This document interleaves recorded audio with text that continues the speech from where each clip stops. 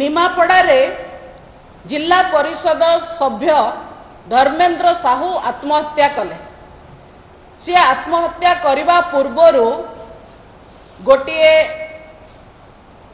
ଆଲୋଚନା କରିଥିଲେ ତାଙ୍କ ବନ୍ଧୁଙ୍କ ସହିତ। ଯେଉଁ ଆଲୋଚନାର ଅଡିଓ ମଧ୍ୟ ଭାଇରାଲ ହେଇଛି ମିଡିଆ ସୋସିଆଲ ମିଡିଆରେ ଯେଉଁଥିରେ ସେ ସ୍ପଷ୍ଟ ଭାବରେ ମନ୍ତ୍ରୀ ସମୀର ଦାସଙ୍କ ନାଁ ଥରେ ନୁହେଁ ବାରମ୍ବାର ନେଇଛନ୍ତି।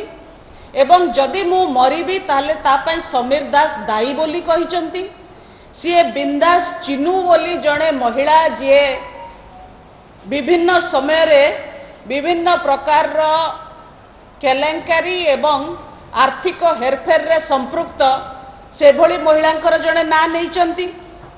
ଏବଂ ଧର୍ମେନ୍ଦ୍ର ସାହୁ ମୁନ୍ନା ମହାପାତ୍ର ବୋଲି ଜଣେ ସମୀର ଦାସଙ୍କର ସହଯୋଗୀ ତାଙ୍କ ନାଁ ମଧ୍ୟ ନେଇଛନ୍ତି। ଏଇ ଏଇ ସବୁ କଥା କହିଲା ପରେ ତାର ଅଳ୍ପ ଦିନ ପରେ ଧର୍ମେନ୍ଦ୍ର ସାହୁ ଆତ୍ମହତ୍ୟା କରୁଛନ୍ତି ମୁଁ ମଲେ ସମୀର ଦାସ ଦାୟୀ ଏ ବାକ୍ୟ ସ୍ପଷ୍ଟ କରୁଛି ଯେ ଇଏ ଧର୍ମେନ୍ଦ୍ର ସାହୁଙ୍କର ଡାଇଂ ଡିକ୍ଲାରେସନ୍ ଯେଉଁ ଡାଇଂ ଡିକ୍ଲାରେସନ୍ ଓଡ଼ିଶା ପୋଲିସକୁ ଭଲ ଭାବରେ ଆଇନ ଜଣା ଆମଠୁ ଅଧିକା ବି ଜଣା ଯେ ଇଏ କୋର୍ଟରେ ବି ପ୍ରଡ୍ୟୁସ୍ ହେଇପାରିବ ଆଜ୍ ଏଭିଡେନ୍ସ ପ୍ରମାଣ ହିସାବରେ ଏଟା କୋର୍ଟରେ ବି ପ୍ରଡ୍ୟୁସ୍ ହେଇପାରିବ। କିନ୍ତୁ ଆଶ୍ଚର୍ଯ୍ୟର କଥା କ'ଣ ପାଇଁକି ଏବେ ଯାଙ୍କେ ପୋଲିସ ସେଇ ଅଡିଓ ଆଧାରରେ ମନ୍ତ୍ରୀଙ୍କୁ ଗିରଫ କରିନାହିଁ ମୁନା ମହାପାତ୍ରକୁ ଗିରଫ କରିନାହିଁ ବିନ୍ଦାସ ଚିନୁକୁ ପଚରାଉଚରା ମଧ୍ୟ କରିନାହିଁ ଏମାନଙ୍କୁ କାହାକୁ ତଦନ୍ତ ପରିସରଭୁକ୍ତ ମଧ୍ୟ କରିନାହିଁ। ଧର୍ମେନ୍ଦ୍ର ସାହୁ ତାଙ୍କ ଅଡିଓରେ ସ୍ପଷ୍ଟ ଭାବରେ କହିଲେ ଯେ ମନ୍ତ୍ରୀ ସମୀର ଦାସ ମୋ ପତ୍ନୀକୁ ଡ୍ରଗ୍ସ ଦେଇକି ତାଙ୍କ ସହିତ କେଲେଙ୍କାରୀ କଲେ ଏବଂ ପରବର୍ତ୍ତୀ କାଳରେ ବିନ୍ଦାସ ଚିନୁ ସେଇ ଭିଡିଓକୁ ଦେଖେଇକିରି ବ୍ଲାକମେଲ କରୁଛି ଆମମାନଙ୍କୁ ବୋଲି। ଏକଥା ମଧ୍ୟ ସେ ଅଡିଓରେ କୁହାଯାଇଛି। ଏଭଳି ସ୍ପଷ୍ଟ ପ୍ରମାଣ ଥିବା ସତ୍ତ୍ୱେ କ'ଣ ପାଇଁକି ଆଜି ଯାଙ୍କେ ଏମାନଙ୍କୁ ତଦନ୍ତ ପରିସରଭୁକ୍ତ କରିନାହାନ୍ତି? ପୋଲିସ ବିଭାଗ ୟାକୁ ସ୍ପଷ୍ଟ କରୁ। ଯେଉଁ ସରକାର ଓଡ଼ିଶାରେ ମାକୁ ସମ୍ମାନର କଥା କହୁଛି ସାଢ଼େ ଚାରି କୋଟି ଓଡ଼ିଆ ମୋ ପରିବାରର କଥା କହୁଛି। ଧର୍ମେନ୍ଦ୍ର ସାହୁ ଆପଣଙ୍କ ପରିବାର ଭିତରେ ପରିବାର ବିଜୁ ଜନତା ଦଳର ସଦସ୍ୟ ଥାଇକି ମଧ୍ୟ ତା ଉପରେ ତାର ହତ୍ୟା ଉପରେ ଆପଣ ଏବେ ଯାଙ୍କେ ତଦନ୍ତ କାହିଁକି କରିନାହାନ୍ତି? ଏ କଥା ମଧ୍ୟ ବିଜୁ ଜନତା ଦଳର ମୁଖିଆ ସ୍ପଷ୍ଟ କରନ୍ତୁ। ଧର୍ମେନ୍ଦ୍ର ସାହୁ ଆଉ ସମୀର ଦାସଙ୍କ ଭିତରେ ଲକ୍ଷ ଲକ୍ଷ କୋଟି କୋଟି ଟଙ୍କାର ଟ୍ରାଞ୍ଜାକ୍ସନ୍ ହେଇଛି ଆର୍ଥିକ ଟ୍ରାଞ୍ଜାକ୍ସନ୍ ଇଲେକ୍ଟ୍ରୋନିକ୍ସ ମାଧ୍ୟମରେ ଟ୍ରାଞ୍ଜାକ୍ସନ୍ ହେଇଛି ମାନେ ଯାହାର ରେକର୍ଡ ମଧ୍ୟ ରହିଛି।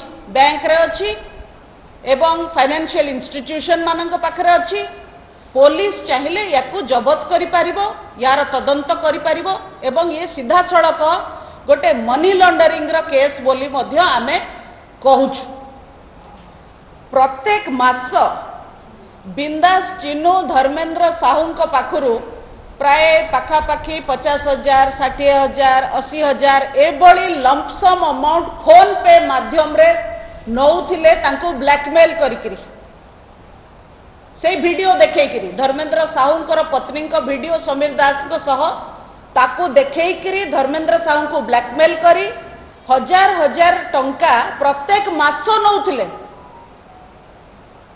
ତଥାପି ଇଏ କେସ୍ ତଦନ୍ତ ପରିସରଭୁକ୍ତ କରୁନାହିଁ ଏଇମାନଙ୍କୁ ବିନ୍ଦାସ ଚିନୁକୁ କରାଯାଉନାହିଁ ସମୀର ଦାସକୁ କରାଯାଉନାହିଁ ବିନ୍ଦାସ ଚିନୁ ଧର୍ମେନ୍ଦ୍ର ସାହୁଙ୍କୁ କାହିଁକି ବ୍ଲାକମେଲ କରୁଥିଲା ତାଠୁ କାହିଁ ପଇସା ନେଉଥିଲା ସେ ଜିଲ୍ଲା ପରିଷଦ ସଦସ୍ୟ କାହିଁକି ଆତ୍ମହତ୍ୟା କଲେ?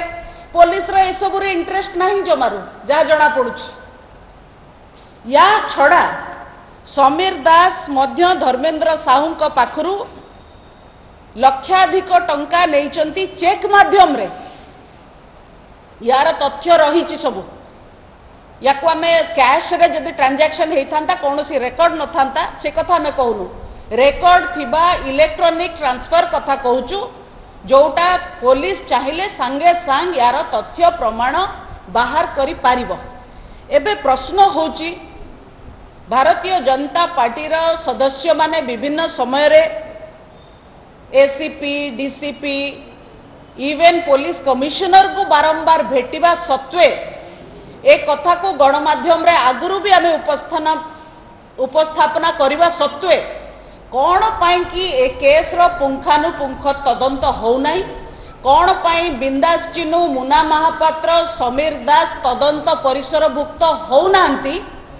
ଏ ପ୍ରଶ୍ନର ଉତ୍ତର ମୁଖ୍ୟମନ୍ତ୍ରୀଙ୍କୁ ବି ଦେବାକୁ ପଡ଼ିବ ଓଡ଼ିଶା ପୋଲିସକୁ ବି ଦେବାକୁ ପଡ଼ିବ। ମୁଖ୍ୟମନ୍ତ୍ରୀ ତ ହୁଏ। ବିଜୁ ଜନତା ଦଳ ରାଜନୈତିକ ମ୍ୟାଣ୍ଡେଟ୍ ପାଇଥିବା ହେତୁ ମୁଖ୍ୟମନ୍ତ୍ରୀ ହେଇଛନ୍ତି କିନ୍ତୁ ଓଡ଼ିଶା ପୋଲିସ କୌଣସି ରାଜନୈତିକ ଶକ୍ତିରେ ପୋଲିସ ହେଇନାହିଁ ଭାରତୀୟ ସମ୍ବିଧାନ ବଳରେ ଆଜି ଓଡ଼ିଶା ପୋଲିସ ହେଇକି ସେମାନେ ବସିଛନ୍ତି ମୁଁ ତାଙ୍କୁ ସମ୍ବିଧାନ ପ୍ରତି ତାଙ୍କର ଯେଉଁ ଦାୟିତ୍ୱ ମନେ ପକାଇ ଦେବାକୁ ଚାହୁଁଛି ଏବଂ ସମ୍ବିଧାନ ଅନୁମୋଦିତ ବିବେକ ଅନୁମୋଦିତ କାମ କରନ୍ତୁ ବୋଲି ଆହ୍ୱାନ ଦେଉଛି। କ'ଣ ପାଇଁକି ଏତେ ସବୁ ତଥ୍ୟ ପ୍ରମାଣ ଥିବା ସତ୍ତ୍ୱେ କ୍ଲିଅର କଟ୍ ଅଡିଓ ରେକର୍ଡିଂ ଯାହାକୁ ଆମେ ଧର୍ମେନ୍ଦ୍ର ସାହୁର ଡାଇଂ ଡିକ୍ଲାରେସନ କହିପାରିବା ତାହା ଥିବା ସତ୍ତ୍ୱେ ପୋଲିସ ଆଜି ଯାକେ କାହାକୁ ବି ଗିରଫ କରିନାହିଁ।